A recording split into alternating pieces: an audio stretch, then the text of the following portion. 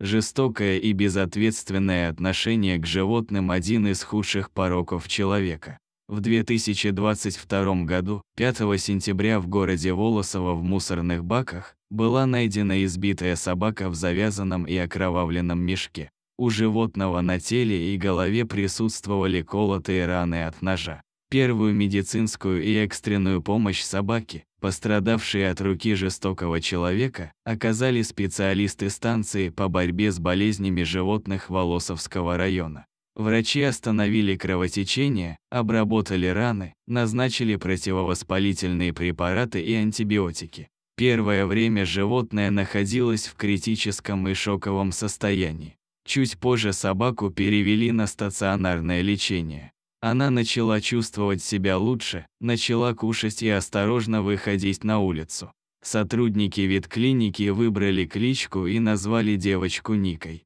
Теперь она по-настоящему радовалась и наслаждалась солнечными днями на улице. Врачи надеялись, что в скором времени Ника сможет забыть о том, что с ней произошло и обретет своего любящего хозяина, которому будет предана до конца жизни. Ветеринарные врачи все это время заботились и упрямо выхаживали малышку. Спустя время Ника стала постепенно выздоравливать. Специалисты временно поселили собаку на территории ветеринарного участка, однако девочка с нетерпением ожидала своего нового любящего хозяина. И Ники, переживший столько боли и страданий, улыбнулась удача, подарив не одного, а целых двух заботливых людей. Собаку забрала пожилая пара, родители женщины, которая нашла и вытащила раненую Нику из мусорного бака. Так, девочка отправилась в свой новый дом, где ее будут любить и заботиться, где она снова обретет свое счастье и спокойную сытую жизнь.